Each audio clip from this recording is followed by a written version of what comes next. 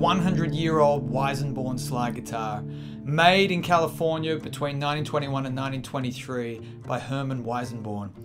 And one of the reasons this guitar sounds different to almost every other guitar you'll ever hear is because for the last century, this wood has been changing.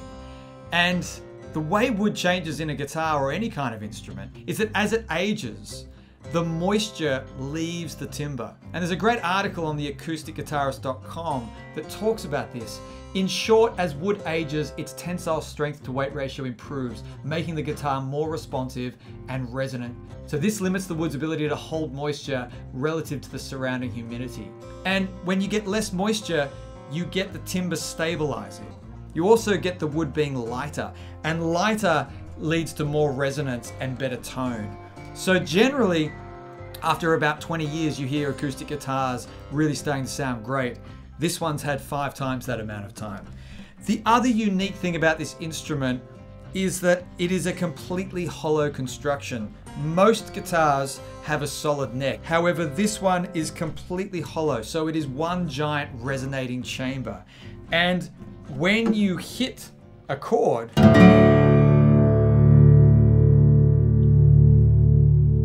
can hear that resonating chamber. You can hear how long that sustain is and how warm it is and how rich it is. And you can feel in this guitar that there's really nothing else going on. It is so light. Um, the moisture is all gone. The bracing is very subtle. It's just an incredible instrument.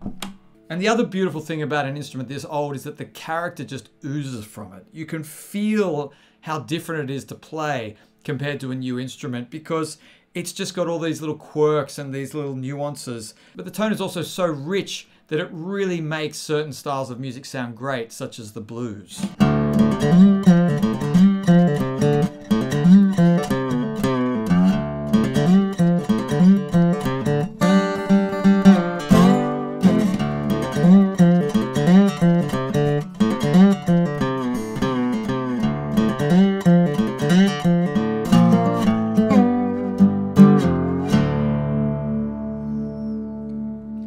Slide guitar is played very differently to a normal guitar. First of all, you might notice that I've got these, these finger picks on.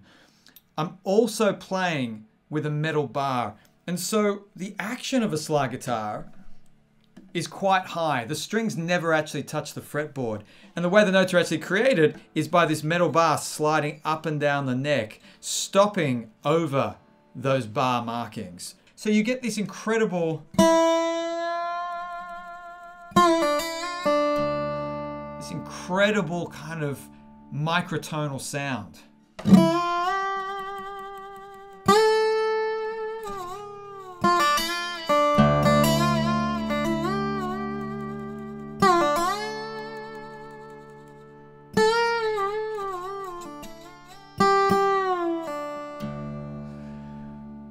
The name Weissenborn has become very well known in the guitar world, and this style of guitar now gets replicated by many contemporary luthiers and guitar makers. And Herman Weissenborn was a German born American who initially made violins and repaired pianos, but he latched on to the popularity of Hawaiian music coming through America and turned his attention instead to the slide guitar.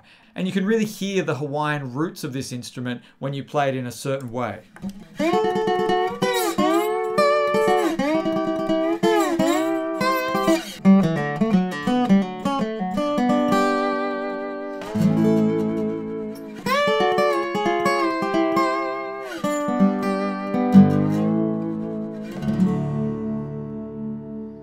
The other thing that the hollow neck does is it makes this instrument very loud. So you can actually play it very gently and get some very sweet tones out of it, or you can really dig in and get it to growl. And this actually makes it quite versatile compared to some of its Hawaiian ancestors. The Weissenborn actually found its way into contemporary music and, and rock music, and people like David Lindley were masters of the instrument. And Ben Harper is another artist who has brought this instrument into popular contemporary music. And so you can actually get quite a lot of versatility out of this instrument. And if you play it quietly and sweetly, you get some lovely tones like this.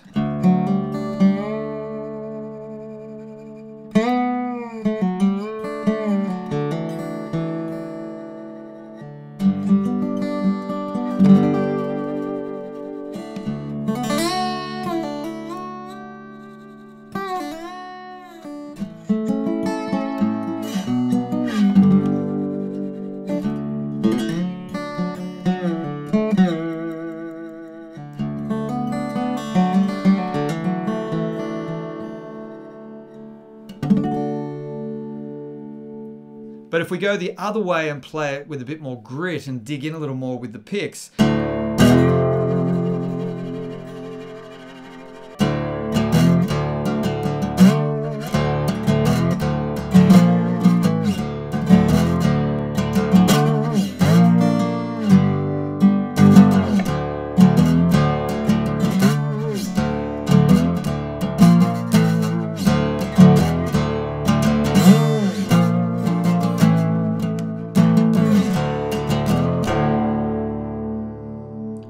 because of the string tension and the metal bar, you can also play some really fast kind of lines and bounce the, the tip of the bar around the strings.